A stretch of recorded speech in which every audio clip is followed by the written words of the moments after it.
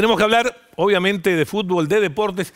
Para eso yo les voy a presentar una, primero un amigo y después un periodista deportivo, mi querido amigo Maximiliano Steinman, que hoy se vino con un look remerita, tranquilo, saco. Así me, así me dejaron en vestuario. ¿Así te dejaron el vestuario? Sí, tipo Don Johnson. Bermuda no. No, no. no. Ah, era otra época. no.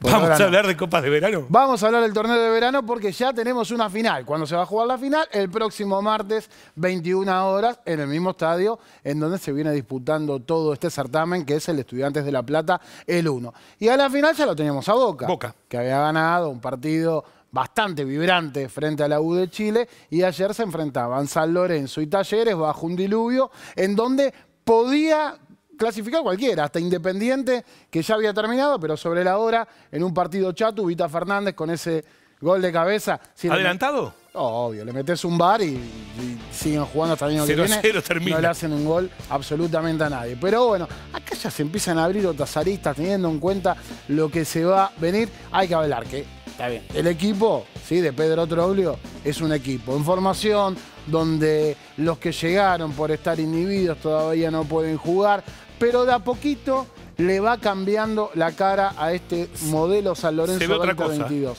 Se ve otra cosa, se ve otra intención. También siempre pasa, ¿no? Cuando llega un técnico nuevo, es como que todos se quieren mostrar, todos quieren ser parte del equipo titular. Y bueno, dentro de eso hay algunas confirmaciones, como la de Ubita Fernández, y otras cosas que vienen asomando, pero habrá que esperar todavía. Lo de Talleres después de la partida de Medina ya suena un poquito más preocupante, teniendo en cuenta que perdió los dos partidos que jugó. Totalmente. Eh, me parece a mí que entre River, que ya vamos a hablar después, pero Boca, la verdad que se reforzó muy bien. Me parece a priori, no sé qué opinas vos. A mí me parece a priori que estamos a las puertas de tal vez el torneo local más aburrido de los últimos 75 años, por lo que trajo River, por lo que trajo Boca, y por ahí le puede asomar Vélez de buen funcionamiento, que trató de mantener, más allá de la partida de Teo Almada, pero Boca, Boca hoy termina de confirmar, además de la vuelta de Benedetto, estamos hablando de un 9 de recontra jerarquía, Paul Fernández, listo, ya está, todo acordado con el Cruz Azul. Y Figal, que se hizo la revisión médica, ya firmó y mañana va a estar a disposición del técnico, más teniendo en cuenta todo lo que tiene el banco, ¿no? Dicen que también puede venir el paraguayo, Romero. Y la idea, Dicen. la idea es traerlo a Romero. Lo que pasa es que ahí hay un tire y afloja. Romero es como que quería otra cosa y Boca lo había llamado y ahora dijeron, bueno, volvieron a levantar el teléfono.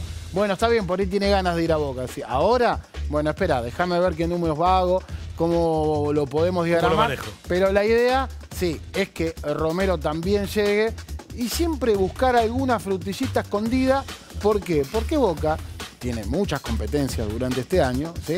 Y tiene una lista interminable de jugadores suspendidos después del escándalo con el De Milan. lo que pasó, seguro. ¿Sabes quién me gusta? No sé, capaz que me equivoco. Ceballos.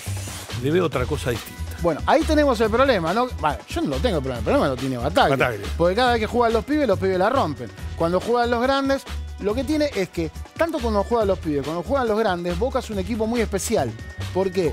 Yo siempre lo digo, Boca juega horrible el 80% del partido. Lo juega mal, aburre, no tiene fluidez, presionan uno por un lado, otro por el otro, llegan a destiempo, duermen siestas interminables en el fondo, por eso los goles de pelota parada que se comen, pero nadie sabe cómo y en qué momento se enchufan y gana. Y gana, y gana, y gana. Bueno, son esas cosas que tendrá que evaluar Bataglia entre lo que venían jugando, los pibes que piden pistas, los grandes refuerzos que trajeron y a ver cómo se conjuga todo esto. Y un dato final.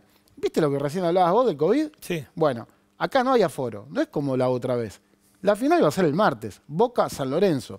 30.000 personas, todos juntos.